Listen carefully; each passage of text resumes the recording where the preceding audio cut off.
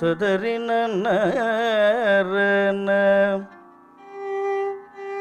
துதறின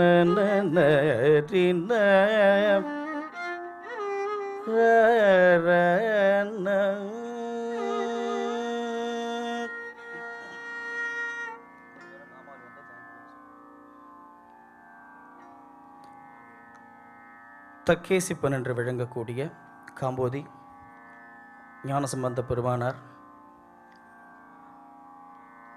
தமிழ் இசை என்பது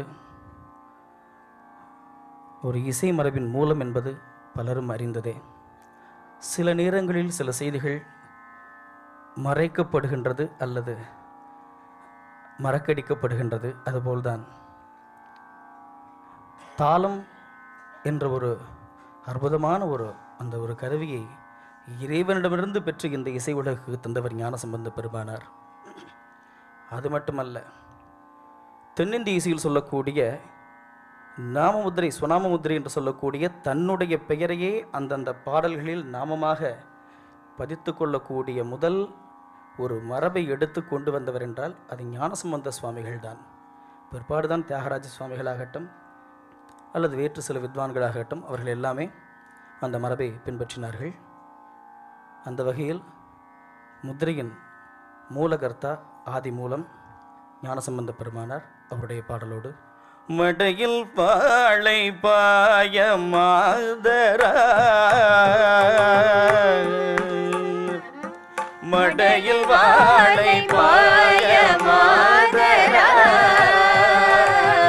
உடையும் பொய்கை கோலக்காவுளான் உடையும் பொய்கை சடையும் பிறையும் சாம்பர் பூச்சும். சடையும் பிறையும் சாம்பல் பூச்சும். கீழ் உடையும் கொண்ட உருவம் என் கோலோ. கீழுடையும் உருவம் கோலோ. மடையில் வாழை பாய மாதரா. பொய்கை கோலக்காவுளான் சடையும் பிறையும் சாம்ப பூச்சும் கீழுடையும்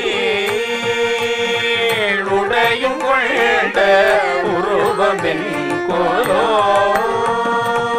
பெண்டான் பாகமாக பிறை சென்னே.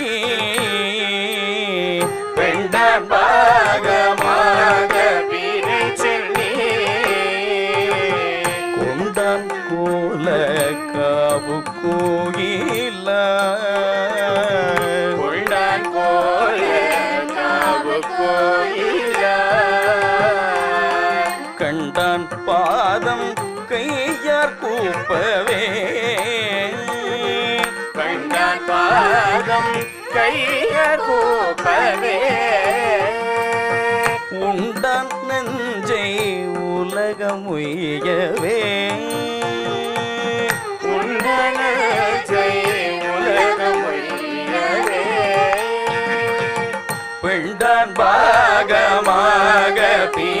சென்னி. கொண்டான் போல காவு கோயில. கண்டான் பாதம் கைய கூப்பவே உண்டான உலகமுயவே நலங்குள் காழி ஞான சம்பந்தன். கோலங்குள் கோல வலங்குள் பாட வல்லவாய் மயா உலங்குள் வினை போல் ஓங்கி வாழ்வரே உலங்குள் வினை போய் ஓங்கி வாழ்வரே